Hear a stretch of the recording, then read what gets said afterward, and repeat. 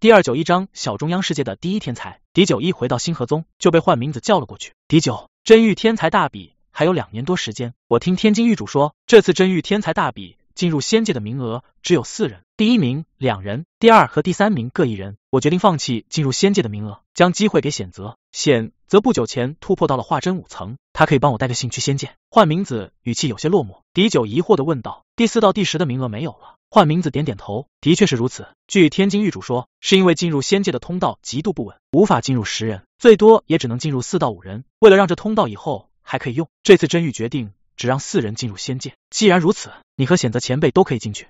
相信自己这次第一没有问题。狄九魂不在意，以他现在能对抗玉主的实力，相信获得一个天才大比的第一，应该不会有什么问题的。换名字摇了摇头，真玉出了一个化真后期天才，以往真玉天才战的化真参赛者最多一到两人。这次因为小中央星的开启，估计有四到五人进入化真，而且还都不一般。狄九依然没有在意，五个化真又如何？换前辈，到真玉大比之前，你能否跨入玉境？狄九忽然问道。他现在是化真四层巅峰，只差一步就可以跨入化真五层。两年时间，他很有可能晋级到化真六层。到了化真六层，他不惧那个什么劫星玉主。若是幻明子能够跨入玉境，那两年后他底气就更足一些。幻明子眼里闪过一丝黯然，我这辈子也无法跨入玉境了。因为我的寿元即将到，而且血气亏损，能保持修为不变就算是好事。加上天机阁也不再是之前的天机阁，也正因为这样，我才将去仙界的机会给选择。狄九微微一笑，拿出一个玉盒递给幻明子，说道：“如果加上这个，我想前辈跨入玉境就应该足够了。”幻明子疑惑的打开了玉盒，随即惊声叫道：“七色蟠桃！修真界如果还有让寿命即将到了的修士疯狂之物，那必定是七色蟠桃，无疑。七色蟠桃号称可以让修士续命万年，这个估计有些虚夸。”但是七色蟠桃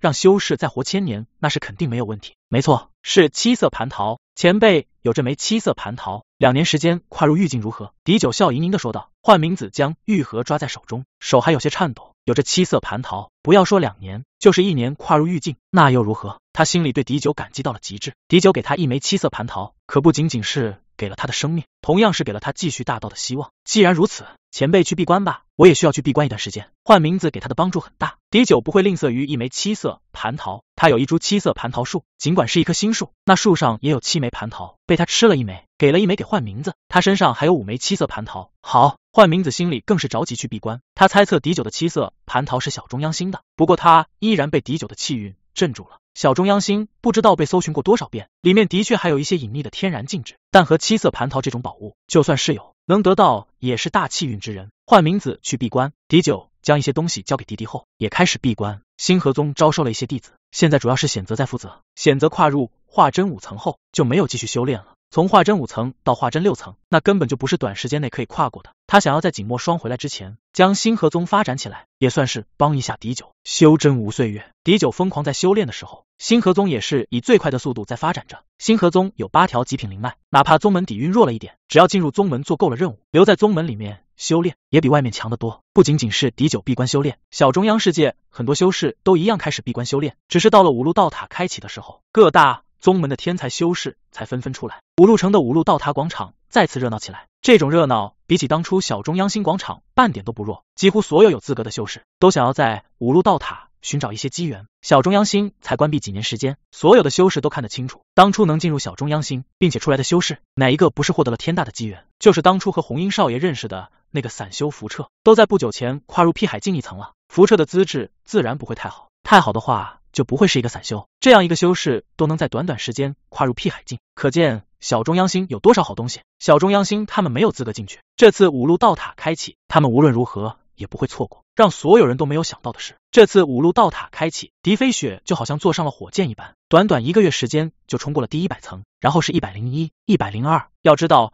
之前登上五路道塔最高的也不过是九十几层，这次狄飞雪仅仅是一个多月就进入了一百零二层，还在不断往上爬。以这种趋势下去，这次狄飞雪很有可能登顶。什么时候五路道塔爬起来这么简单了？敖皇在知道狄飞雪登上一百零二层后，立即就来到了五路广场。他来的时候，正好看见狄飞雪登上了第一百零三层，他的脸色有些难看。他几乎可以肯定，狄九丢下的五路道盘被狄飞雪捡走了。当初他明明用神念仔细搜过狄飞雪，为何没有搜到五路道盘？不但是他没有搜到，舒浩然和萧吴也没有搜到。想到舒浩然和萧吴，他心里一颤。那星河宗的狄九实在是太可怕了点。虚剑宗和坤宗好歹也是传承多年的九星宗门，此人居然将两大宗门的化真强者杀戮一空。换成之前，敖皇必定会在狄飞雪下来后直接带走狄飞雪，可现在他不敢。他可是听说狄飞雪和狄九关系匪浅，甚至狄九也是狄家后裔。狄飞雪他倒是不惧，那狄九实在是太可怕了点。舒浩然和萧武只是前车之鉴。思量再三，敖皇决定去联系燕血仪和沈风。敖皇去寻找燕血仪和沈风的时候，五路广场几乎都疯狂了。狄飞雪登上了第一百零六层，距离一百零八层。只有两层了，第一百零七层了。人群中有人惊叫出声，随即整个五路广场都盯着五路道碑上狄飞雪的名字。也许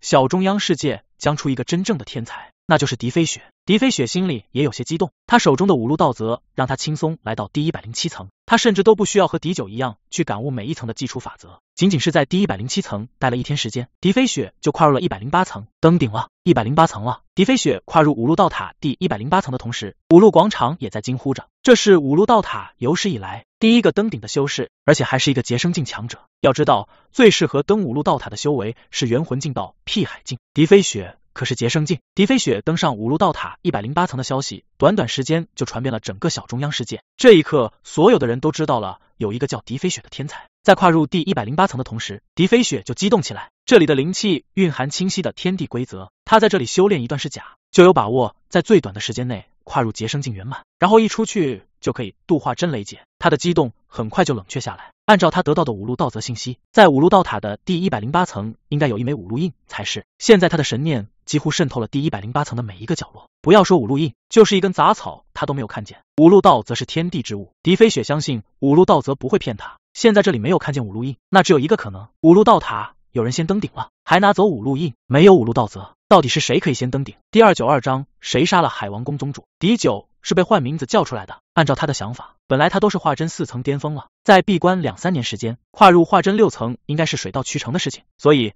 狄九闭关之前还是很放松的。他先是花了两三个月炼丹，让自己跨入了九品丹王，同时将那一株冰罗变成了十二枚真罗丹，花时间去炼丹。一个是他刚刚从五路道塔修炼到化真四层巅峰，所以沉淀一下自己；其次是他想要在去真域之前，帮耿己炼制出冰罗丹来。冰罗丹是炼制出来了。可惜的是，将近三年时间过去，在换名字叫他出关的时候，他也不过才是化真五层而已。到了化真境，他每前进一步，果然都是困难重重。换前辈，你跨入狱境了。狄九一看就换名字，就知道换名字跨入了狱境。不仅如此，换名字看起来比之前也年轻了许多。七色蟠桃虽然没有让换名字返老还童，换名字的生机明显的旺盛起来，气息也强壮了不少。这绝对是好事情。哈哈，你果然是可以看出来我的修为，我还以为你看不出来的。换名字。哈哈大笑，狄九撇了撇嘴，心说天境狱主的修为在我面前都无所遁形，你才狱境一层，也想我看不出来修为，实在是太自信了一些。修为进步如何？换名字是真的看不出来狄九的修为实力。狄九摇了摇头，进步不大。对一般的修士来说，将近三年时间，从化真四层巅峰提升到化真五层，那已算是天大的进步。对狄九来说，这个进步似乎还真不大。进步不大。也没有关系，我的寿元足够我再进一步，就是这次去不了仙界，也是还有机会的。换名字反过来安慰了一下迪九，嗯，迪九的神念扫出去后，立即皱眉问道：“迪迪怎么不在星河峰闭关？”换名字呵呵一笑，迪迪的资质恐怕比你还要强，他才多大呀，就已是辟海境了。我建议他不要继续闭关，他需要出去试炼。耿几跨入了劫生境七层，他陪迪迪一起出去试炼了。迪九点点头，不要说耿几劫生境七层，就是迪迪辟海境一层，在小中央世界也是可以立足。换名字说的没错，只闭关修炼，不出去经历一些事情，并不是什么好事。前辈叫我出关，是不是真玉天才战即将开始了？狄九知道，对换名字来说，真玉天才战才是最重要的一战。是的，若是你这次真玉天才战能获得前三，对我们星河宗是一件天大好事。换名字应道，狄九没有就。前三的事情多说，尽管他干掉了坤宗和虚剑宗的化真强者，在换名子看来，估计自己最强的还是正道。当初他能干掉那几个化真，也是借助了正道。这种事情和换名字解释，还不如用实际行动来表示更直观。换前辈，我闭关的这段时间，小中央世界有没有什么事情发生？狄九岔开了话题，换名字说道：“正是有些事情需要和你说。不久前五路道塔再次开启，其中狄飞雪登上了第一百零八层，算是五路道塔的顶层。狄九并没有觉得意外。”狄飞雪能登上五路道塔顶层，在他看来很正常。狄飞雪拥有五路道塔的道则，如果不能登顶，那才是怪事。你不觉得震惊？见自己说出狄飞雪五路道塔登顶后，狄九表现平静，换名字反而有些惊讶了。狄九呵呵一笑，我关心的是五路道塔还在吗？换名字不解的看着狄九，五路道塔存在不知道多少年了，怎么会不在？这我就放心了。狄九嘿嘿一笑，语气有些怪异。看样子五路印被他拿走后，狄飞雪失去了炼化五路道塔的资格。换名字倒是没有在意，他以为狄九是随便说着玩的，继续说道：“倒是有一件奇怪的事情，海王宫宗主敖皇继虚剑宗宗主萧无和坤宗的宗主舒浩然后，被人斩杀在拜叶湖。海王宫宗主临死之前传回去一个狄字，现在很多人都怀疑敖皇也是你杀的，只有换名字清楚，敖皇不是狄九杀的，敖皇的死和狄九毫无关系，因为狄九闭关的时候，他一直在外面守着，狄九不可能出去杀了敖皇回来，然后不让他知道，或者说狄九有本事做到不让他知道，狄九也不会这样做。狄九脸色一沉。他知道敖皇是谁杀的，杀敖皇的人必定是狄飞雪。狄飞雪这个女人让他背锅还背习惯了，果然是一个贱婢。到了此刻，狄九彻底明白狄飞雪和他父亲狄彩商一脸悲愤找他的原因了，那不是因为看他潜力无比，将来能借助他狄九杀了五大宗门宗主报仇，而是看中了他背后站着的换名字狄彩商和狄飞雪这对狗妇女，希望能通过他让换名字出手干掉五大宗主。特别是狄飞雪这个女人，简直对人心的算计和把握到了一个极致的程度。尽管她杀舒浩然是因为保命，杀萧无是因为梁古琴被虚剑宗杀了，但不得不承认，狄飞雪的话也给了自己一定的影响。否则的话，他就不会起义想要杀敖皇，更不会询问燕血仪关于神念搜查狄飞雪的事情。也正是询问了燕血仪，他才知道狄飞雪一直在说谎。这狄飞雪和狄彩商父女果然都是影帝级别的人物。狄飞雪是不是化真了？狄九平和了心绪，问了一件看起来毫无关联的事情。换名字一脸惊讶的看着狄九，好一会才说道：“你怎么知道他的确是化真了？”狄九再次问道：“真玉天才大比还有多久？”听狄九说起真有天才大比，换名字立即说道：“你现在就要去真玉了。我叫你出来是因为名额的事情。我本来就是天机阁的阁主，天机阁有两个名额。”其中一个就是我的，可是我上次去天机阁寻找长萧，天机阁居然说长萧不在天机岛。最近我又去找了他一次，长萧还是没有回来，我就知道长萧大概是不想将名额给我了。狄九暗道，自己幸亏有先见之明，从拍卖会弄到一个真玉天才大比的名额，否则指望老换的话，那可就歇菜了。换前辈参加真玉天才战资格的事情，我有办法，你不用去寻找名额了。现在我需要去一趟。海王宫，狄九说道：“本来这次真玉天才战，他打算让耿几和他一起去碰碰运气的。听换名字说了后，他就知道耿几去了，想要获得前三的希望不大。既然如此，那索性让耿几不要过去。耿几不去，他身上有一个名额，那就够了。”换名字不解的看着狄九：“你要去海王宫做什么？海王宫的宗主敖皇不是你杀的，这件事和你毫无关系。”至于海王宫会不会找来算账，你根本就不用担心。我已经决定留在星河宗。狄九答道：“我虽然偶尔被欺骗，却不代表我愿意背黑锅。我去海王宫主要告诉他们一件事：海王宫的宗主不是我杀的，杀他的人是狄飞雪，或者是他父女两人。”什么？换名字一脸震撼的看着狄九。海王宫的宗主敖皇是狄飞雪杀的，这也太离谱了点吧？海王宫同样是小中央世界的五大宗门之一，在天机阁内乱，坤宗和虚剑宗所有化真被狄九杀戮一空后，海王宫的地位不减反升。加上传闻海王宫宗主敖皇还和星河宗的宗主关系不错，甚至还亲自送了礼物去星河宗，所以更多人看好海王宫将来比龙月雪山和紫雷宗发展好。没想到海王宫的宗主敖皇突然被人杀在了拜叶湖，这种变化几乎没有人想到。都猜测海王宫宗主敖皇是狄九杀的，奈何星河宗如日中天，哪怕是海王宫在没有确切的证据之前，也不敢去星河宗问责。狄九来到海王宫宗门驻地所在的时候，也是暗自敬佩海王宫的宗门气魄。海王宫的宗门建立在无央海海面上，一个巨大的水帘大门悬浮在海面上空，给人一种龙宫的感觉。狄九是九级王阵师，他一看这个水帘大门，就知道这是一个传送阵门。他落在这个传送阵门门口，两名守护修士就出现在狄九面前，不等这两人询问，狄九。就抱拳说道：“星河宗宗主狄九前来拜访，还请通报一声。”星河宗宗主两名守护修士一听到这个名字，眼里顿时露出戒备和仇视的神情，同时一道讯息就送入了海王宫中。第二九三章上门澄清，只是十几个呼吸时间，一道有些瘆人的大笑声就在海王宫宗门入口处出现。一名五短身材，脸上锈迹斑斑，手臂上也有一些淡淡纹路的男子出现在了宗门入口处。他人刚刚落下，就抱拳大笑着说道。星河宗狄宗主能来海王宫，我海王宫实在是蓬荜生辉。鄙人海王宫太上长老敖千仞，狄宗主有请，有请，有请。一连三个有请，似乎在表达他的热情和海王宫的好客。狄九听出来了，他的语气有些勉强，甚至带着一丝不甘。狄九并没有在意，他只是不想被狄飞雪利用而已，并不代表他怕了海王宫。多谢敖长老。狄九也是抱拳回了一礼，毫不犹豫的就跨入了传送阵门。一道漩涡力量传来，狄九落在了地面上。真正的海王宫出现在狄九面前，宗门气势犹如怒涛席卷而至。一道道海底玉器城的石阶一直通海王宫的宫殿入口，浓郁的水属性灵气传来。狄九按照感叹，建造海王宫的人实在是有气魄，寻找到了这样一个宝地，然后还在这里建立了宗门。敖千仞一路上不断介绍着海王宫的历史和一些无恙海上的一些传闻。狄九听着有些心不在焉，敖千仞心里有些愤怒，也有些惴惴不安。他不知道狄九来这里。到底想要做什么？当初的确是海王宫宗主敖皇想要算计狄九，可那也是过去的事情了。敖皇早已陨落，这件事按理说应该就此作罢才对。半炷香之后，狄九在海王宫长老敖千仞的带领下来到了海王宫的宾客殿。坐在宾客殿中的三名男子看见狄九进来，都是纷纷站起，同时抱拳向狄九问好。狄九的神念略微扫一下，就知道这宾客殿外面有一个九级的困杀阵。在这宾客殿中，还有一名化真三层的长老。听他刚才自己报名，似乎叫敖君化，其余两人是结生境修士。看样子，海王宫所有的人都对狄九的到来有些不安和戒备。狄九坐下，喝了一口茶后，索性直截了当的说道：“我刚刚闭关出来，听到海王宫敖皇道友不幸遇难，特意前来送上一份迟来吊唁。当初我星河宗开宗的时候，敖皇道友还前去祝贺，转眼敖皇道友。”就天人两隔，让人唏嘘不已。海王宫的两名太上长老和两名内门长老都是面面相觑，不大明白狄九说这话是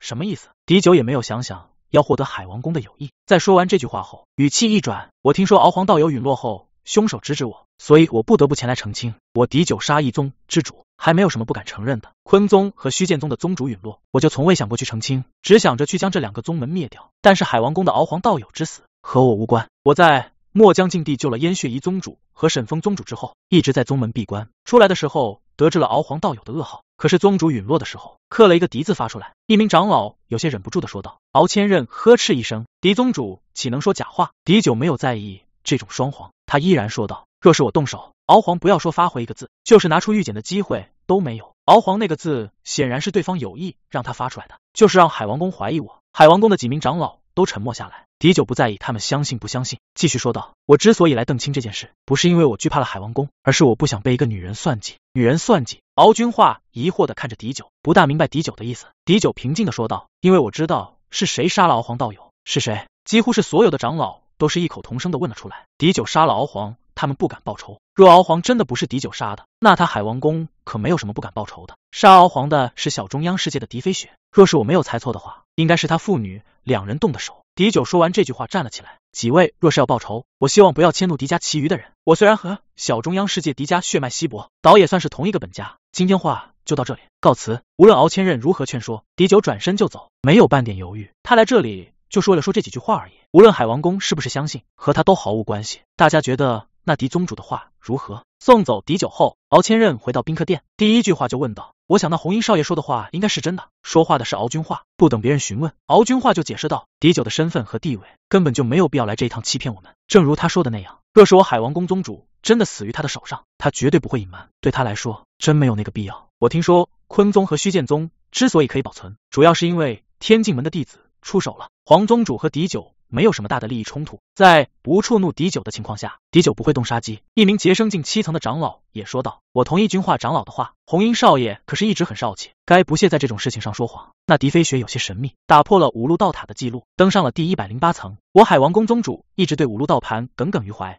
很有可能是因为狄飞雪登上一百零八层后，跟踪了狄飞雪。此女心计莫测，加上她父亲狄彩商也是一个心机深沉之辈，暗算我海王宫宗主也不是不可能。敖千仞沉声说道：“正是如此，我敢肯定红衣少爷说的是真话，他是被狄飞雪激怒了。此女如此算计他，那红衣少爷可不是一个愿意吃亏的主。”狄九回到宗门，幻明子和显泽已经是等在宗门门口。狄九一回来，他就立即说道：“狄九，你和显泽赶紧去真域，这里交给我。”狄九疑惑的说道：“幻前辈不是和我一起去真域吗？”幻明子摇了摇头，我现在的寿元说不定比你还长，所以留在星河宗是最好的。若是我们都走了，星河宗修为最强的耿己也不过是劫生境后期。幻明子后面的话没有说完，狄九已经明白了他的意思，那就是星河宗的强者都走了，那刚刚建立起来的星河宗很有可能再次分崩离析。显泽也在一边说道：“幻师兄的想法和我说了，只要我去了仙界，我就可以帮忙做到。”幻师兄说的对，星河宗的化真不能全部离开，我还在呀。等我从真域回来，我必定还会回到星河宗。狄九说道。幻明子呵呵一笑，狄九，这才几年，你都化真境了。你说，就算是你还在星河宗，怕也不会比我待的时间更长。这次若是你能获得第一，你就和显泽一起去；若是你不能获得第一，你不用回小中央世界，你可以留在真域修炼到玉境再说。是的，宗主。换前辈说了，一个宗门要发展，不能一直在庇护之下。星河宗刚刚建立，必定会经历更多的事情。只有经历了苦难的洗礼，才能走上更高的层次。一边的魏珊珊也站出来说道：“不仅魏珊珊，除了出去试炼的耿己、迪迪、于杰之外，其余和迪九认识的人全都在这里。迪九的本意是打算和换名字、显泽一起去真域，然后参加真域天才战。等他获得前往仙界的名额后，就将这名额交给显泽和换名字，自己回到小中央世界。他回到小中央世界的主要目的，还是因为星河宗刚刚建立，没有底蕴，容易被灭掉。”现在他听到换名字的话，觉得也对。若是以他这种心态来发展宗门，恐怕这个宗门就算是发展起来了，也缺少了一种进取心。这方面他比不上换名字，更何况莫雨轩向他保证过的，百年之内星河宗不会有任何问题。百年时间过去，以他留在星河宗的资源，应该也可以出现一批化真强者了吧？想到这里，狄九拿出一枚戒指递给换名字，传音道：“换前辈，这里面有八枚真罗丹，还有一些晋级结生成顶的丹药，上品灵脉有二十条，极品灵脉有二十条。”其中有两枚戒指，前辈帮我交给耿几和迪迪。我走后，星河宗就交给前辈了。什么？换名字手一抖，差点将戒指丢在了地上。直到狄九和显泽告辞离开，他依然有些不敢相信的握紧手中的戒指。他好歹曾经也是天机阁的阁主，就是这样，他也从未见过这么多好东西在手中。同一时间，小中央世界一处灵气浓郁的洞府中，狄飞雪轻鸣一声，长身而起。他终于在真玉天才大比之前跨入了化真二层。他的目光落在了远处星河宗所在的位置，眼角露出一丝讥讽，随即喃喃自语道：“一个懦夫。”在他看来，狄九就是一个懦夫。当初他上门利用了狄九后，认为狄九必定会借助幻明子的手杀掉五大宗门的宗主，没想到狄九如此没有用，只是杀了一个萧无，而且萧无的死事不是和狄九有关系，还不是很确定。海王宫的宗主敖皇去了星河宗，最后还安然无恙的离开，甚至需要他自己亲自出手。才能杀掉敖皇，可惜他时间不够了。若是时间够的话，他必定要再想办法干掉燕血仪和沈风。现在他只能先去真域参加天才战。第二九四章升仙城。小中央世界前往真域的传送阵在天图城外的传送阵群。小中央世界只有五大九星宗门和天机阁才有资格参加真域天才战，除此之外还有八个争夺名额。这样算起来，小中央世界一共有二十名天才可以参加真域天才战。因为小中央世界的修士很清楚自己和真域天才的差距有多大，所以。无论是五大宗门的名额，或者是那八个争夺名额，在小中央世界都不算是什么珍贵的东西。在很早的时候，那八个争夺名额还有专门的争夺战。后来知道，就算是争夺到了名额，也不过是陪太子读书而已，甚至连前一千都进不去。加上去真域需要大量的灵石，索性没有人再去争夺名额，这个争夺战也就不了了之。这些名额大部分被人以人情关系弄走。狄九的那个名额，就是被人拿到拍卖会拍卖的。狄九和显则来到传送阵的时候，很多参赛修士早已去了真域，一个参赛名额可以有一人作陪。若是换名字来了，恐怕还没有资格传送到真域去。想到真域的天才和修士随意的可以来小中央世界，狄九心里暗叹，这个世界从来就没有存在过什么公平。真域升仙城说是一个城，事实上这里所有的东西只有一个：一个商楼，一个西站，一个天才楼，一个广场。若是以为升仙城只有这几个建筑，就觉得升仙城很小，那就大错了。升仙城不但不小。还很大，十个五路城加在一起也不一定有升仙城大。同样的五路城，所有的西站房间加起来，或者也没有升仙城的这一个升仙西站大。所有来升仙城的修士都必须住进升仙西站。升仙城的传送阵也只有一个，这个传送阵就是真域到小中央世界的传送阵。真域很大，但真域所有的修士，无论你势力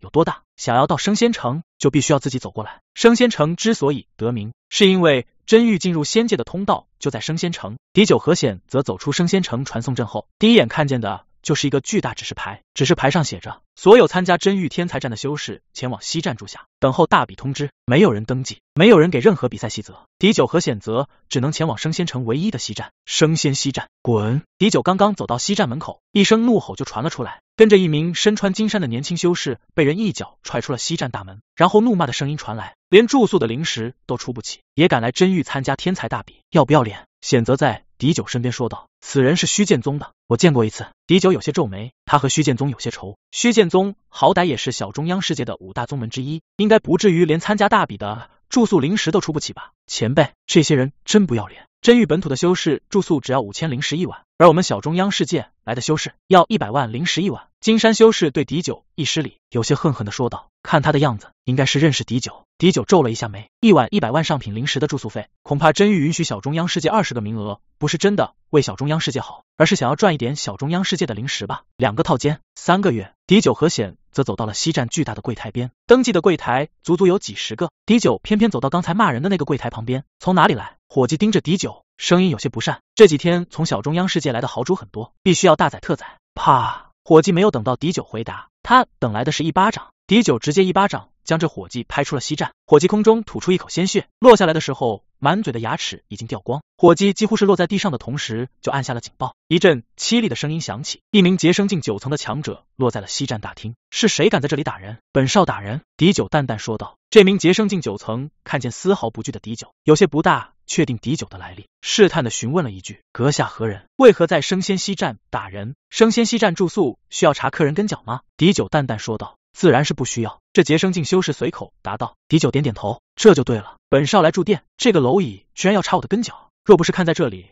是升仙城，本少早已一刀杀了他。”此刻周围都站满了修士，全震撼的看着狄九。升仙西站的后台可是很大，几乎是整个真域强大势力联手举办的。这背着红缨刀的修士是谁？脾气这么大，敢教训升仙西站的伙计？这劫生境修士也有些皱眉了，他看不出来狄九的实力。狄九仅凭一巴掌就将辟海境后期的伙计拍飞，显然也不是一般的人物。无论狄九是什么来历，他都必须要询问一下。还没等他询问，狄九周身的杀气顿时笼罩住了他。哪怕是劫生境九层，这名修士也感受到了一股冰寒气息。他下意识的打了个冷战，心里肯定狄九绝对是化真强者。小中央世界哪里会有化真强者的天才？眼前这个背着红缨刀的修士，必定是真域某一个势力培养出来的天才。道友想要住什么层次的房间？最低的只要一千上品灵石一晚。最高的十万上品灵石一晚，属于顶级豪华洞府。感受到敌九释放出了强大的化真气息，这名劫生境修士当即做出了决定：十万上品灵石一晚的，给我来两套，每套都是住三个月。敌九一摆手，毫不犹豫的说道。这劫生境修士并没有觉得不妥，其实十万一晚上，两套三个月也不过才一两千万上品灵石而已。一个化真强者，两千万上品灵石，那根本就算不上什么。我也住三个月，和这位师兄一样。那名虚剑宗的修士看见敌九办理了住宿牌，赶紧趁机跟了上来。敌九不认识他，他是认识敌九的，在小中央世界，敌九可是风云人物。之前他特意说了那句话，就是告诉敌九发生了什么事。那劫生境修士看见这修士和敌九是一起进来，也没有多想。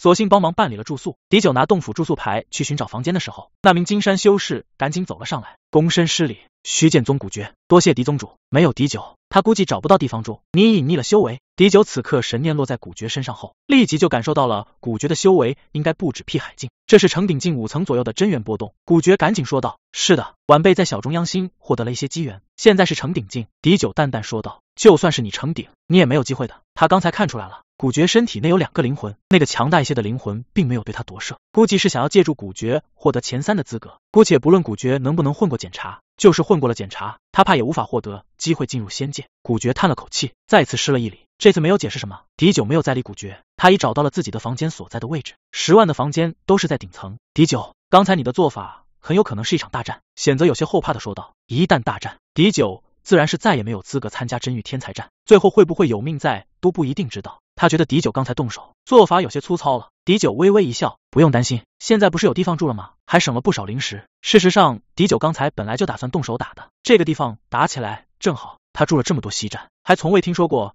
哪一个西站需要调查来历的，所以这次他占理，以他不惧狱主的实力，就不相信真玉敢剥夺他的参赛资格。现在升仙成人非常多，他就不相信真玉的势力不要一点脸，敢和他在升仙城厮。若是真玉真敢这样做，那就别怪他铲平了升仙城。他的刀阵最不惧的是群斗或者单打独斗，他能对抗一个狱主，但是两个甚至三个狱主过来，他也不见得害怕了。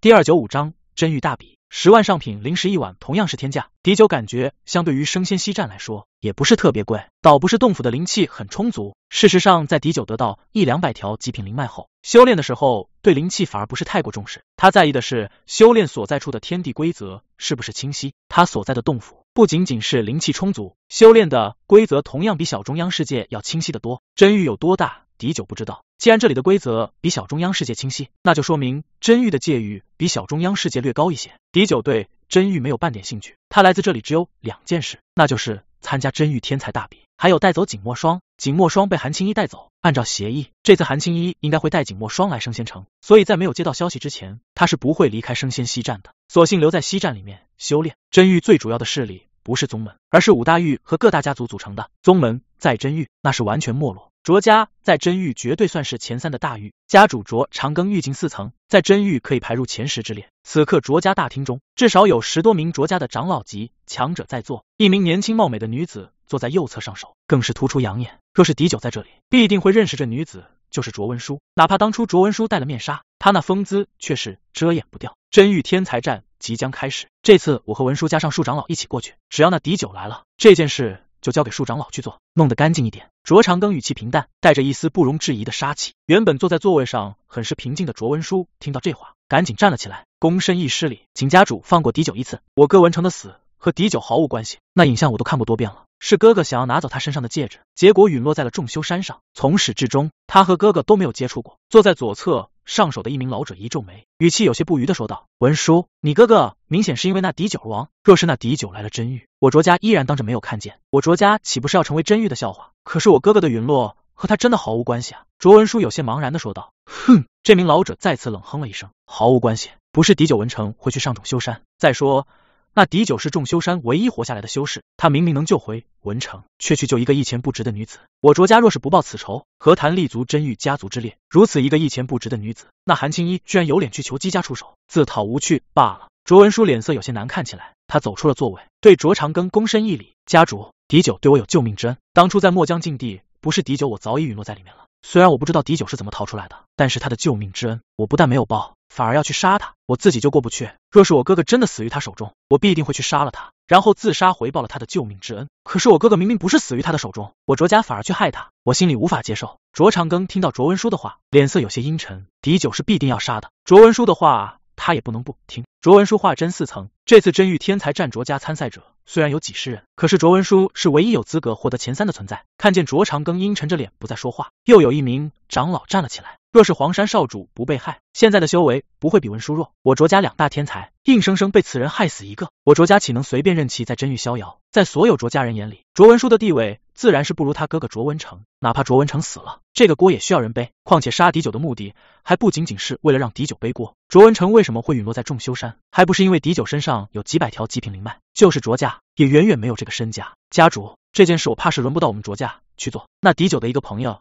还杀了劫星域域主拜红的一个庶子，拜红肯定不会放过他。若是我卓家动手，必定会和拜玉主起冲突。只可惜了他身上的东西。当卓家有长老说出这句话后，卓家议事殿中所有的人都沉默了下来。杀狄九容易，涉及到劫星狱主的话，那这件事就不是那么容易了。狄九疯狂吸收着周围的灵石灵气，加上这里清晰的规则，狄九甚至有一种感觉，下一刻他就可以冲进化真六层。偏偏在这个时候，一个突兀的声音在外面响起：真玉天才战一天后，在升仙广场举行，所有有。参加资格的天才，凭借手中的资格牌进入参赛区，冲击化真六层一半被打断，狄九只能暂停冲击。一天过去，狄九见到显泽，发现显泽的气息明显上升了一些，看样子在这个地方修炼对险泽还是有很大用处的。别看险泽现在才是化真五层，那不是因为险泽的资质比小中央世界或者是真域的天才差，相反，险泽的资质可能比那些天才还要天才。奈何他在极夜大陆那个地方，极夜大陆是什么地方？连辟海境修士都没有办法出来的灵气匮乏所在。险泽也能修炼到化真境，可见险泽的资质有多高。正因为这样，险泽到了小中央世界后，哪怕一直在忙于别的事情，修为依然从化真三层晋级到了化真五层。第九，你不要担心别的，专心去参加大比，就算是失败了，也不用担心。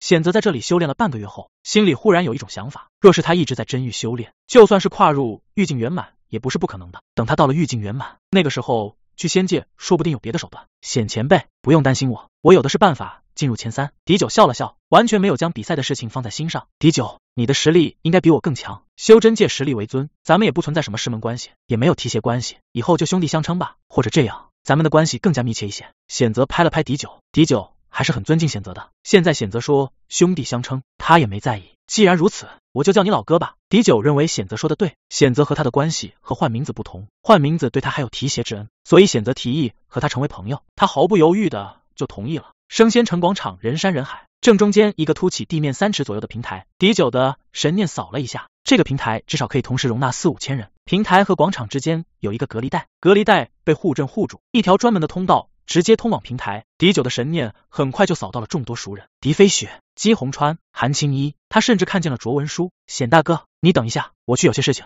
狄九毫不犹豫的走向了韩青衣，因为知道韩青衣必定会来这里，他才等到现在，否则的话，他早就找到洛冰山去了。站住！狄九刚刚走到距离韩青衣一丈范围的时候，就被人拦住。狄九对着韩青衣叫了一声：“青衣仙子，莫霜可好？”韩青衣看见狄九，眼神有些躲避。狄九心里一沉，还没等他说话，一道可怕的气势碾压过来。狄九感觉到周身一阵冰寒，狄九背后的天梭刀一阵阵的颤动，他有些忍不住自己的杀气。若是韩青衣不给他肯定的答复，别怪他就在这里动手了。这用气势碾压他的是韩青衣身后的一名儒雅男子，在狄九看来，修为应该在狱境五层左右，连天津狱主也不如，也敢用杀势碾压他。韩青衣同样感受到了狄九的杀气，他甚至看见了狄九背后刀的红缨无风自动，带着一种凌厉无比的气势。狄九连卓文书都赶不救，他相信狄九发疯起来敢在这里动手，他赶紧说道：“狄道友，不用担心，莫双师妹没事。天才大比即将开始，等大比之后，我再和你说。”如何？似乎为了验证韩青衣的话，他的话刚刚落下，一名中年男子就出现在广场中央凸起的所在，朗声说道：“请所有拥有真玉天才大比资格牌的修士进入比赛场地。第二九六章锁定第一的天才。”第九压下了继续询问的冲动，跟着众多的参赛修士一起进入了广场中间凸起的平台。平台上多了一千两百张桌椅，没有编号。狄九和其余参赛者一样，随便找了一张椅子坐下。他有些不大明白，为何真玉天才大比需要桌椅？难道是发试卷考试？修真界的比斗不是直接斗法吗？等所有的参赛天才都做好后，那中年男子才继续说道：“我是升仙城城主西谷博阳，本次真玉天才大比也是由我主持。本次参加真玉天才大比的天才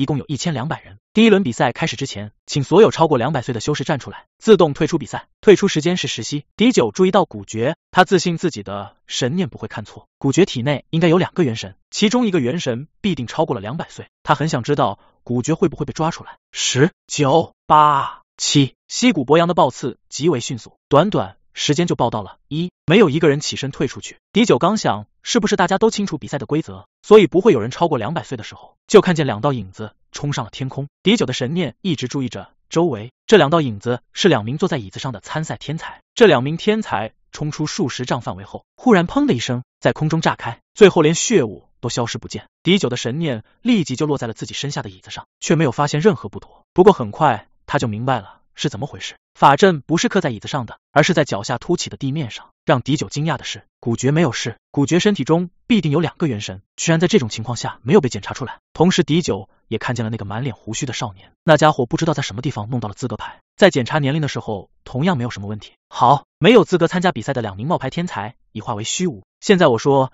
一下本次天才大比的规则和奖励。西谷博阳似乎很满意。这次只有两名不合格的参赛者。狄九的神念虽然没有彻底的扫遍整个升仙广场，也能感受到这里至少来了将近二十名巅峰强者。这些强者的气息应该全部是玉境。眼前这个溪谷博阳也是玉境，和那些强者比起来，应该还差了一个层次，估计在玉境一层左右。此刻，无论是广场上观看比赛的修士，还是参赛者，都是鸦雀无声。所有的人都听说过，本次真玉天才大比的规则改变了。而且获得进入升仙阵的名额变成了四个，广场变得寂静。西谷博阳的声音愈发显得清晰起来。以往每次真玉天才大比都有十七人可以进入仙界，因为升仙阵虚空通道不稳，这次能通过真玉天才大比进入仙界的修士只有四人，而且这四人都有一个任务，必须要将真玉升仙阵即将关闭的消息带到仙界。本次四人名额分配为第一名两人，第二名和第三名各一人。比赛规则分为三轮。前面两轮计分，第一轮挑战，第一轮计分一百为比之，第二轮计分一百为比法。前三名为暂时获得名次的三人，第三轮为挑战轮，只要积分在前二十的天才均可挑战前三。至于挑战的规则，等到第三轮再行宣布。比赛之前，各位参赛天才打开座位的神念，屏蔽禁止。不用西谷博阳说，广场上参赛天才早就打开了屏蔽禁止。西谷博阳继续说道：“第一轮的题目有十道，请大家在眼前出现的阵法屏前写出答案，不要忘记写下自己的名字。”第九打上禁止后，他面前的桌子上也出现了一个虚空阵法屏，屏上有十道试题。他下意识的看了一下广场中间的巨大阵法显示屏，估计只要自己这边答题结束，那阵法显示屏就会出现分数和名次。这种比斗杜绝了一些作弊的可能。第一题是一条蓝色灵脉的大图，然后要求参赛选手写出这蓝色灵脉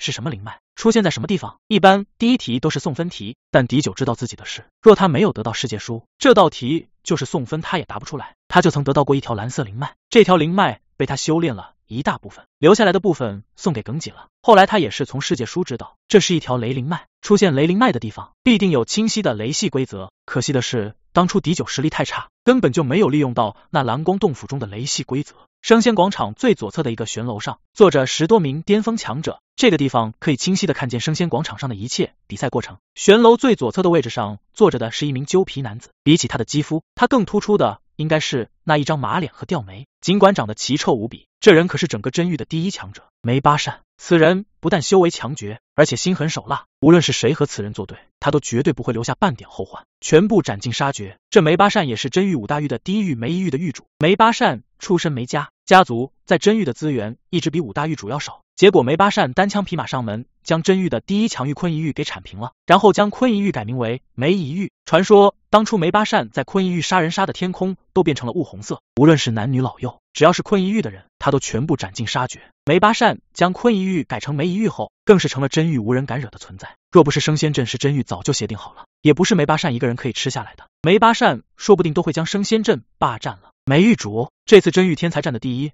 那是非你梅一玉梅之云莫属了。说话的是一名身材修长的男子，他同样是五大狱主之一，劫星域的拜红。哈 哈梅巴善哈哈大笑，马脸更是抖动了几下。拜狱主太自谦了，你劫星域的拜少相可是资质逆天，不久前在小中央星更是获得天大机缘，他也有争夺第一的潜力。说是这样说。大家都可以清晰的感觉到，他并没有反对拜红的话。事实上，他早就锁定了第一。他儿子梅志云化真七层，在这种天才大比上，两百岁的劫生境就算是顶级天才了。若不是小中央星在这之前开启，化真境绝对不会超过三个。拜少相化真二层，对梅志云来说就是打酱油的。众人纷纷猜测，这次第一是梅志云，这让梅巴善心里更是得意。他跨入了狱境九层，在真狱再也没有进阶的余地，所以这次大比之后，他也打算去仙界了。天津玉主，莫非你还有不同的意见？劫星玉玉主拜红本来就和天津玉主换长竹有些不对付，现在大家都赞扬梅一玉的梅志云，天津玉主没有说话，被他抓到了把柄。就连很是自得的梅八善也将目光转向天津玉主换长竹。天津玉主他没有放在眼里，真玉五大玉中，天津玉主不过是排名第四而已。如果天津玉主对他梅一玉有意见的话，他必须要在去仙界之前将幻长竹干掉。天津玉主哈哈一笑，我也认为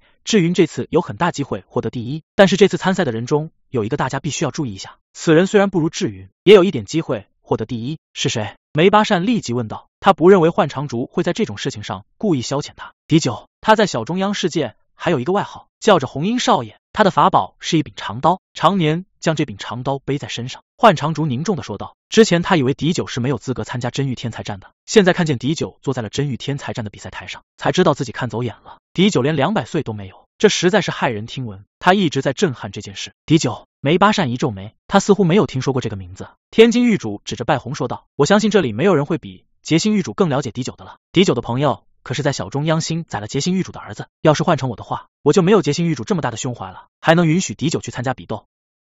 第二九七章第一轮比赛结束，败红脸色变得铁青，打人不打脸，天津狱主这就是打脸了。事实上，不是他大度不找敌九的麻烦，而是和换名字说的一样，他儿子多的是，有的甚至从出生到现在。他都没有见过面，更不要说记得名字了。一个庶子被杀，自有手下人去干掉仇人，哪里需要他来过问？直到最近他出关，才知道杰星玉出去报仇的长老并没有成功报仇。要不是天津狱主提起来，他甚至一时间都想不起来杀他儿子凶手的朋友在升仙城。这倒是不用你操心，等天才战结束后，我自会去杀了这敌九。杰星狱主拜红声音带着寒意，他是奈何不了天津狱主。不过天津狱主有一个弟子叫来和也参加了这次天才大比，等第二轮斗法的时候，他必定要他儿子拜少相杀了来和。这敌九到底是什么来历？梅巴善问了一句。他儿梅志云必须要夺得这次真玉天才战的第一，哪怕那敌九对志云没有半分威胁，他也必须要先弄清这敌九到底是什么东西变的。卓长庚主动说道：“此人听说是小中央世界的第一强者，也是唯一陨落在了众修山后还能复活，再从小中央星种修山上下来的修士。我卓家卓文成就是死在此人之手。敌九陨落在了众修山，最后还从众修山复活下来了。”梅巴善脸色有些变了。种修山他一样上去过，当时他仅仅走到了第一百零三步，就赶紧下来了。他肯定，如果他敢再往前走一步，他必定陨落在了众修山。他也是极少数可以从种修山活着下来的修士，但他很清楚众修山的可怕，陨落在众修山上，那是绝对不可能活着下来的。狄九能从众修山活着下来，就算是狄九无法争夺天才战的第一，他也不会放过此人，因为狄九身上必定有天大的秘密。哼！梅巴善冷哼一声，此人乱杀无辜，我真欲容不下他。梅狱主说的。对这种人，应该剥夺参加真玉天才战的资格，直接拿下再说。卓长庚立即添油加醋的说道：“我也是这样认为，狄九这种垃圾就该剥夺参加真玉天才战的资格。”又有一名瘦弱竹竿的男子说道：“这是真玉厉家的家主丽丽，他心里对狄九还是很忌惮的。狄九可以杀掉利剑，实力绝对不会比他弱多少。现在梅巴善主动对狄九不满，他岂能不加一把火？所有的人都清楚梅巴善刚才那话的意思，除了要为梅志云铲平大笔的路之外，还对狄九身上的东西。觊觎了，梅巴善在真玉霸道惯了，现在他这样说话，一时间没有人站出来反驳。就在梅巴善准备一锤定音，将狄九抓出来的时候，一名长相有些清秀的中年儒士忽然说道：“卓家主和厉家主此言错矣。无论那狄九如何乱杀无辜，对他参加真玉天才战都没有半点影响。真玉天才战比的是天才，可不是品格。真玉天才战到今天，只有违反比斗规矩被剥夺参战资格。我还从未听说有人因为乱杀无辜没有资格参加的。若是以私怨来报复参加真玉天才战的天才，那真玉天才战也没有什么意义了。”卓长庚干笑一声，安玉主说的是，丽丽也嘿嘿一笑，没有再说话。真玉最强大的势力是五大玉，刚才站出来说话的是五大玉之一安农玉的玉主安灵州。安农玉在五大玉中实力最低，排在第五。安灵州玉境六层，实力虽比卓长庚和丽丽都强，然而比起梅巴善来差得远了。偏偏安陵州眼里不喜揉沙子，有什么就说什么，哪怕此刻梅巴善脸色已变得很黑，依然无法阻止他说这些话。这个时候，梅巴善如果还要将狄九抓出来，不然其参加比斗，那是明着告诉别人，他梅巴善在真狱一人遮天了。事实上，他梅巴善还没有这么大的能耐。狄九写到第九道题了，前面的八道题除了其中一道他会做之外，其余的全部是在世界书找到的答案。第九题是写出兽灵果生长在什么地方，主要用途是什么？这题出的可真偏僻。狄九若不是有世界书的话，还真不知道这是什么东西。兽灵果是结性成熟后落在了妖兽身上，结性有一个特性，一旦落下果肉。就会自动脱落，果核会吸附在妖兽身上，一旦发芽，那就马上开始吸收妖兽的精血。等妖兽察觉身上有果核发芽的时候，已经要死了。妖兽死后的血肉会成为结性核的养分，这一株结性成熟后。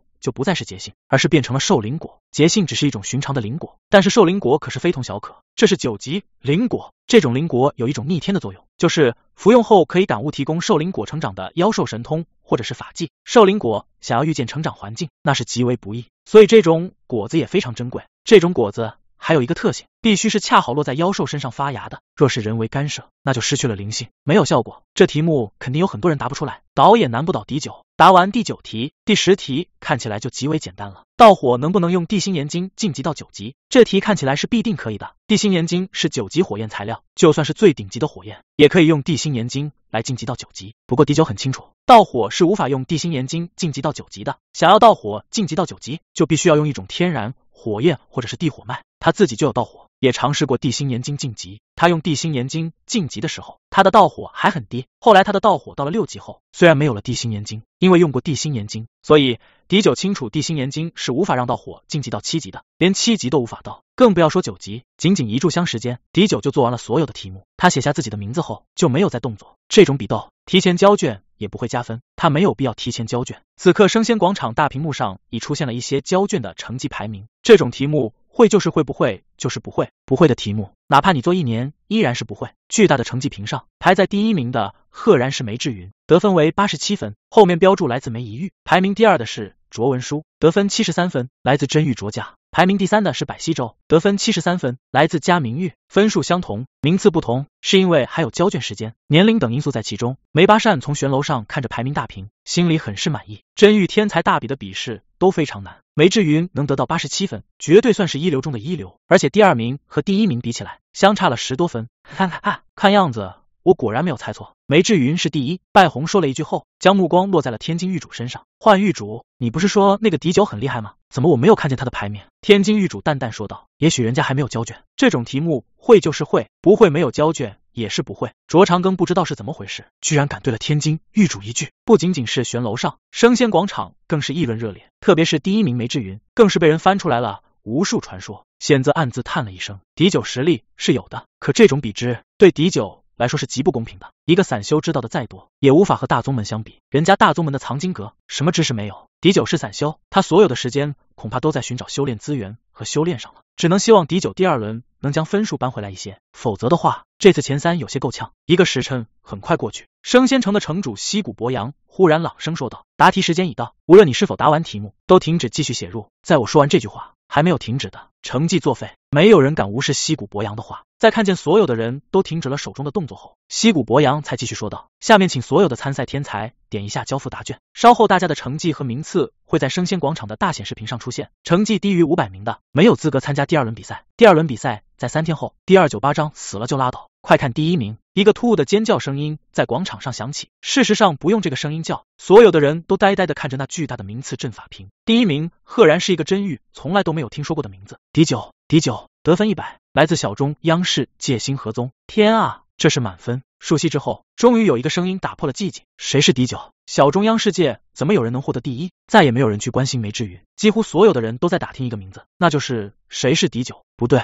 梅志云被挤到第三了，第二是胡不让。谁是胡不让？我怎么又不知道？在众多人询问敌九的时候，又有一个名字让本来就凌乱的生鲜广场显得更为凌乱。阵法屏敌九的下面出现了第二名胡不让，得分九十，来自小中央世界散修，第一名被敌九抢走了。现在出来一个散修，获得了第二，第一和第二都是小中央世界的，这个真玉有些接受不了。还有第十，第十也是来自小中央世界。很快就有人发现，前十并不是只有第一、第二来自小中央世界，第十居然也是来自小中央世界。第十名古绝得分七十一，来自小中央世界虚剑宗。生鲜广场边缘的悬楼上，梅巴善的脸色阴沉的几乎要滴出水来。虽然他相信梅志云最后必定还是会夺得第一，但是这第一轮被挤到了第三，让他梅巴善的脸。往哪个被挤到第三也就罢了，偏偏第一和第二还都是小中央世界来的，竟然是第一！天金玉主幻长主也是震撼的盯着大屏，他知道迪九这次有可能获得前三之一，没想到第一轮迪九就以满分的成绩获得第一。这个时候，幻长主心里非常清楚，迪九的秘密比他想象的还要多，还要大。可他借出去过，迪九知道这是一个极度危险的家伙。梅巴善忽的站起，脸色阴沉的走出了玄楼。他刚一出玄楼，身边。就出现了一名佝偻着背的男子，狗商，去将那敌酒做掉，不要让他参加三天后的第二轮斗法。梅巴善的声音有些渗人，是主上。佝偻背恭谨的说道，然后转身就走。他的态度就好像主人给了他五毛钱，让他去打一瓶劣质酱油般简单。敌酒，你居然能弄到第一！选择激动的迎接走出来的敌酒，语气充满了激动。敌酒的实力他很清楚，加上这个第一轮的比试成绩，取得前三差不多是稳了。走吧，老哥陪我一起去。有些事情，第二轮考核要在三天后。对狄九来说，现在第一要紧的事情是去寻找韩青衣。没等狄九去寻找韩青衣，一名替海境年轻修士已是来到了狄九面前。他对狄九行了一个修士礼后，抱拳说道：“可是红英少爷，狄九，没错，是我。”狄九平静的答道。这修士继续说道：“我家庄主今天在生鲜西站甲字七号为你摆下庆功宴，还请红英少爷参加。”说话间，一张烫金的请帖被他双手递出来。狄九没有去接请帖，语气淡然问道。你家庄主是谁？这修士连忙说道：“我家庄主是洛冰山庄主韩无水。”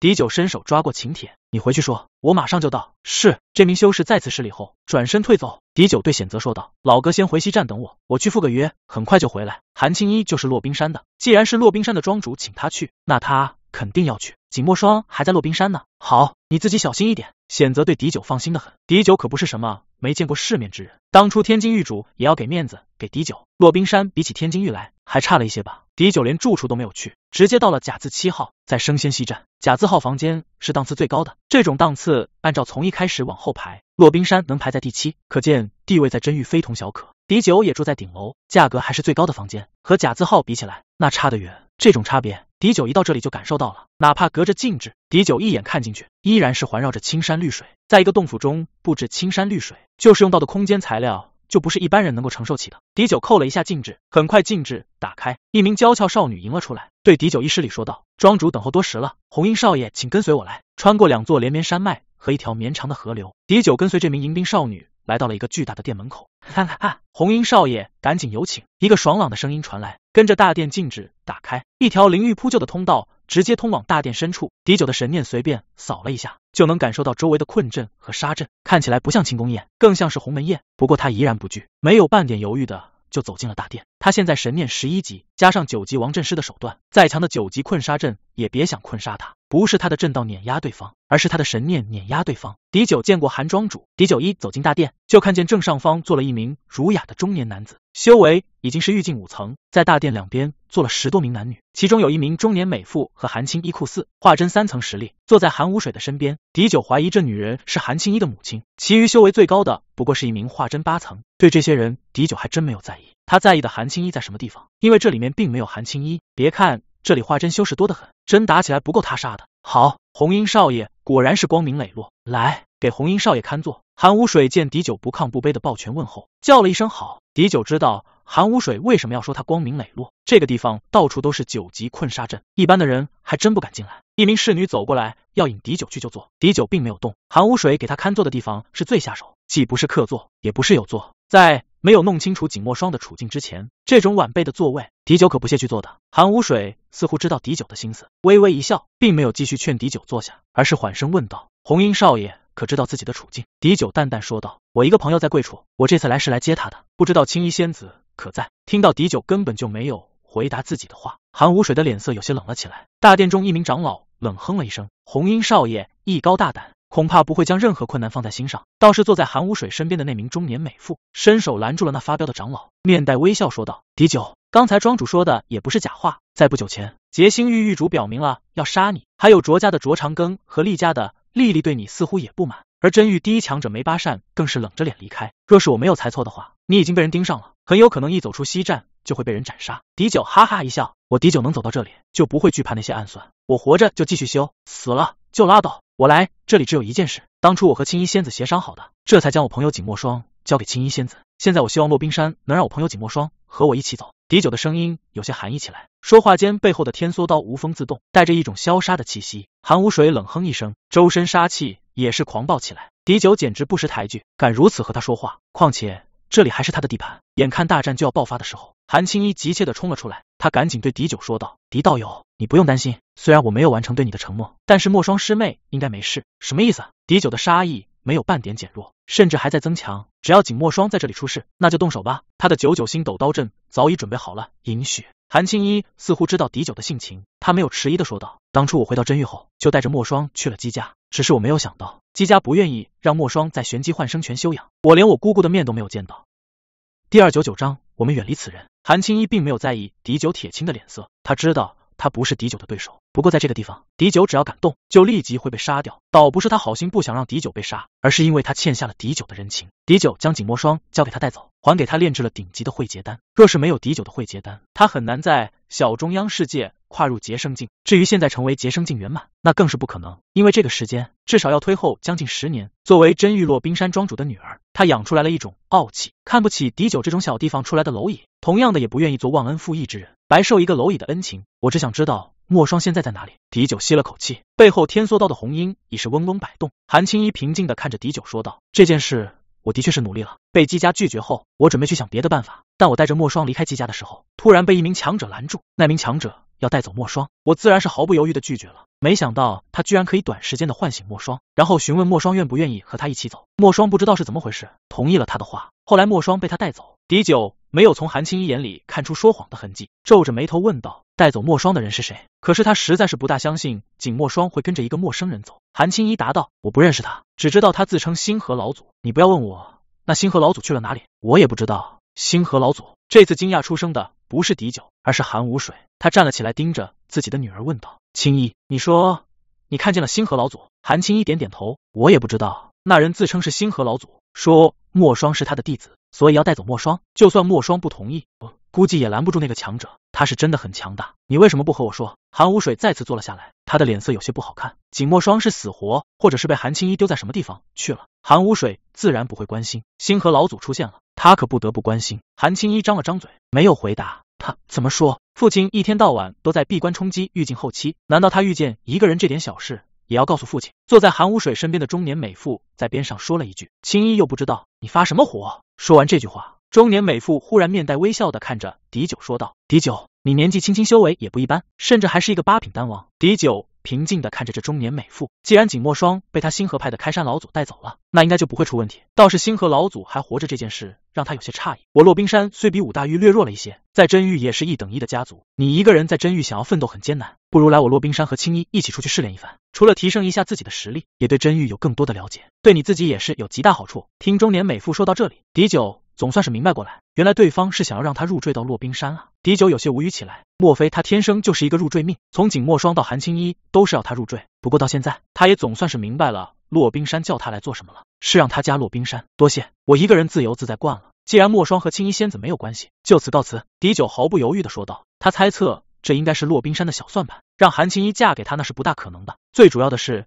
看他第一轮获得了满分，万一第二轮再获得一些分，他说不定能进入前三。洛冰山将韩青衣推出来骗他，无非是万一自己获得了前三，洛冰山将这个升仙名额拿走罢了。哼，不识抬举！一名化真三层的长老冷哼了一声：“你区区一个小宗门出来的散修，难道不知道加入洛冰山有多少好处吗？就是洛冰山藏经阁的法技，就够你看一辈子的了。”在洛冰山这些顶级势力的眼里，小中央世界九星宗门出来的弟子也是散修。狄九停了下来，对这名化真三层长老说道：“哦，既然这样，为何第一是我？骆冰山的天才在何处？得到了多少分？韩青衣沉默不语。第一轮真玉天才比，他获得了六十一分，排在三十一名。不要说和迪九这个第一比，就是距离前十也有十分的差距。这就是我奇怪的，你区区一个散修，居然能获得第一，让我看看你有什么古怪。这化真长老忽然一步跨出座位，抬手抓向了迪九。他骆冰山今天就是欺了迪九，迪九也没有地方去跳天。韩无水面无表情，连动都没有动，更不要说是劝说了。迪九身上有秘密，梅巴善都想要，他一样。想要获得这秘密，迪九可不是他们绑架来的，而是邀请来的。就是出了什么事情，也和他洛冰山没有什么关系，最多找个人易容成迪九，走出去消失而已。让大殿中所有人不解的是，洛冰山这名化真三层的长老抓向迪九的时候，迪九嘴角反而溢出一丝讥讽，然后转身就走。韩青衣差点要揉揉自己的眼睛，不仅仅是韩青衣，所有的人都想要揉揉自己的眼睛。这红衣少爷自大，他们都清楚，如果不自大的话，也不会在洛冰山的地盘说话如此嚣张了。可再自大也。砰的一声，让所有的人都停止了考虑迪九自大的事情。他们看见迪九反踹出一脚，然后一道黑影倒飞了回去，直接撞向了韩无水。韩无水好歹也是一个御境强者，他来不及震惊落冰山化真三层的长老，为什么被迪九一脚踹回来？赶紧抬手想要抓住这名长老。轰！狂暴的炸裂在韩无水身边炸开，那名中年美妇赶紧侧边退走。敌九的声音此刻才传来：“你洛冰山如果敢再激怒我，我会去洛冰山将洛冰山在真域除名。”噗！一道血剑喷出，直到此刻，那名偷袭敌九的化真三层长老才跌落在地。刚才韩无水没有抓住他，韩无水一脸震撼的看着自己周围被真元炸裂的一切，思维有些空白。狄九那一脚并不是直接踹向他的，他竟无法将狄九踹向韩琦长老身上的真元力量化去，然后抓住韩琦。这个实力，一道冷汗从韩无水背后渗出，也就是说，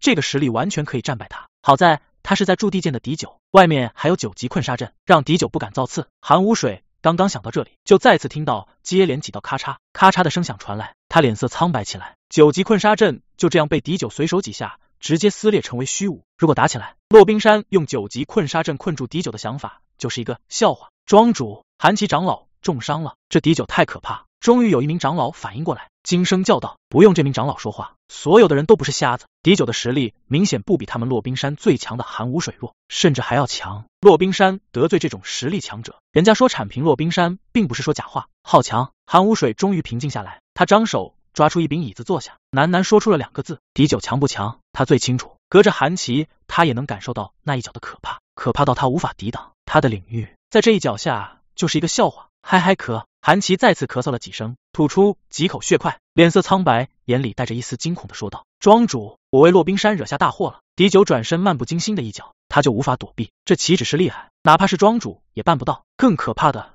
是，他在狄九那一脚中感受到了一种空间的力量，这太可怕了，可怕到他不敢说出来。那中年美妇也缓过神来，她的座位同样被狄九那一脚爆裂。此刻。他也是取出了一柄椅子坐下，说道：“韩琦长老，你坐起来慢慢说。只要我们不继续触怒此人，我相信此人不会去灭我洛冰山。”是。韩琦吞了两枚丹药后，爬了起来，良久后才说道：“庄主，狄九那一脚，我根本就生不起来躲避的念头，或者是说，根本就没有资格去躲避。这还是他漫不经心的转身后的一脚。若是他想要杀我，我怕是已经死了。青衣，你和狄九接触时间最多，你说说看，此人。”韩无水冷静下来，他知道自己。必须要做出选择，韩青衣这才从震撼中清醒过来，他吸了口气说道：“我第一次见到他的时候，他还是一个蝼蚁，我可以轻松碾杀他。随后，我就再也看不透他了，似乎一次比一次平凡，可我却有一种高山仰止的感觉，永远也爬不过这座山。”韩无水深深的吸了口气，看着众多的洛冰山长老说道：“此人我洛冰山不要再碰，这次真玉天才战绝对不会就这样平平淡淡的结束，我肯定最终升仙城会血流成河，有些势力恐怕会烟消云散。”中年美妇忽然说道：“庄主。”我们是不是可以真的将青衣说给他？韩无水摇了摇头，敌九再强，恐怕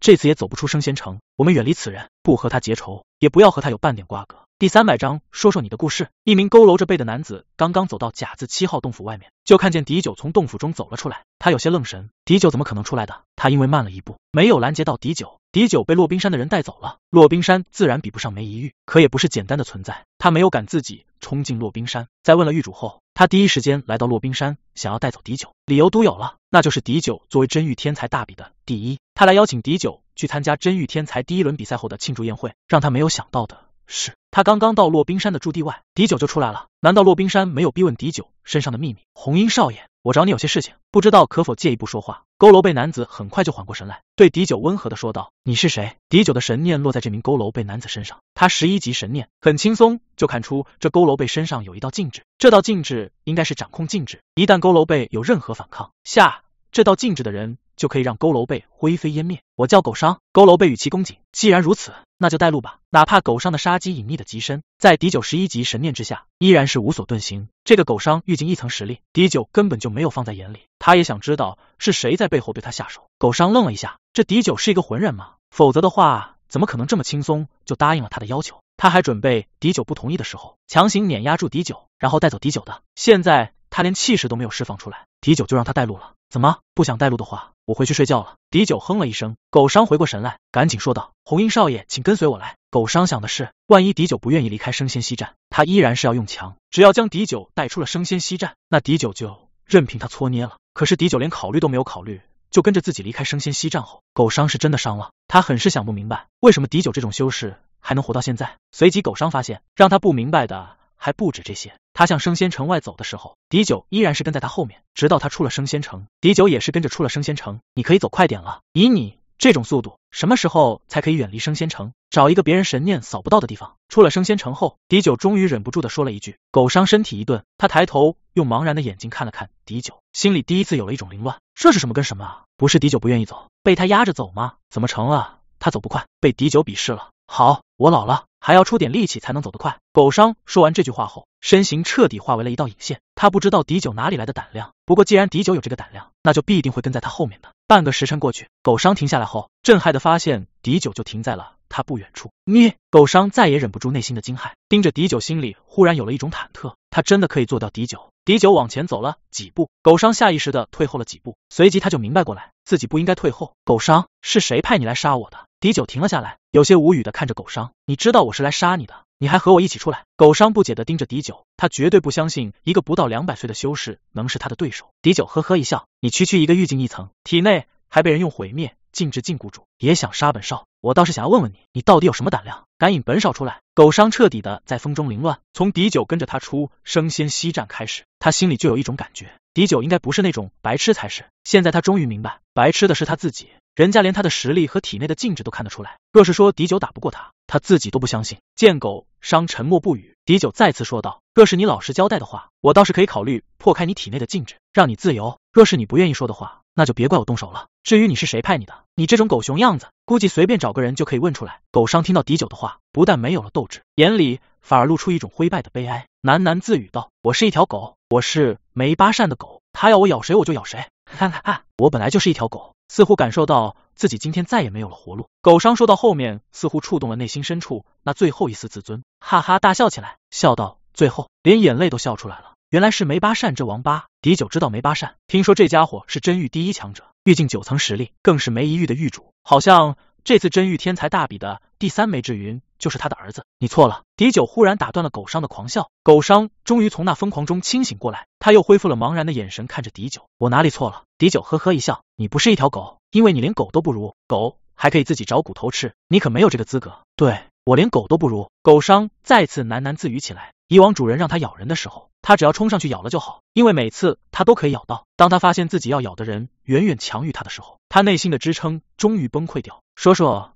你的故事，若是可以让我起一点同情心的话，我倒是可以考虑为你解开体内的禁制。狄九淡淡说道，不是狄九想要做好人，而是他感觉到狗商是梅巴善强行拘禁的，若是能将狗商拉到他这边，将来暗算梅巴善的时候，也多了一个帮手。梅巴善御境九层实力，又是真域第一强者，狄九还真的没有把握可以正面硬汉这家伙。一旦他将狗商发展成为他的合作者，那暗算梅巴善就多了几分把握。在真域这个地方，只要做掉梅巴善，狄九相信别的人也威胁不到他。狗商摇了摇头，我的禁制。你解不开的，除了梅巴善，没有人能解开我的禁制。今天杀不掉你，我也没有打算活着回去，因为回去也是一个死。哈哈哈！狄九哈哈一笑，狗商，我看你是被人叫狗叫的时间太长了，连最基本的脑子都没有了。我既然能一眼就看出你的禁制，甚至还能看出你的禁制是石海元神和丹田的牵连禁制，我就可以解开你的禁制。你狗商震撼的盯着狄九，能一眼看出他的禁制是从元神开始下的，这要有多强的神念？他肯定就是梅巴善也没有这种实力。愿不愿意在你？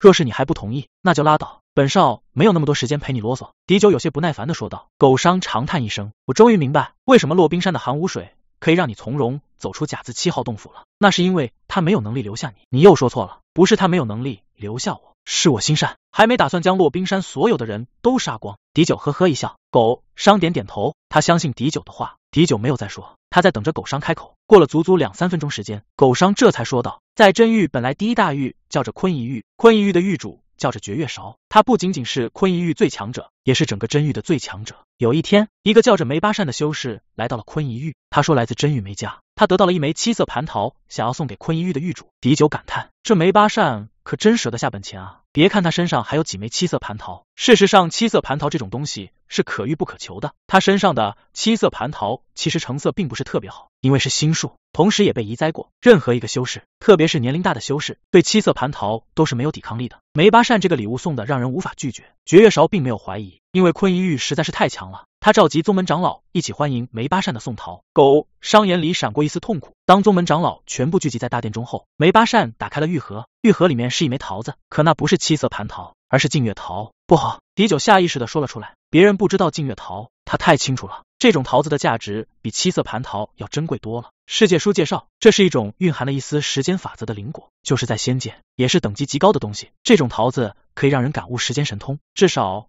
不是他这个等级可以接触到的，但是初次见到净月桃，会有一种错觉，就好像自己跨入了镜中一般，陷入一种时间的顿滞。净月桃的名字也是来自这个，化为镜中之花，水中望月的意思。狗商没有在意狄九的话，他自顾说道：“在看见净月桃的那一刹那，包括狱主在内的所有人都陷入了顿滞。梅巴善突兀动手，在短短的两息时间杀完了整个坤夷域的强者。那梅巴善为什么没有事？还有你又是谁？怎么知道这么清楚？”狄九盯着狗商，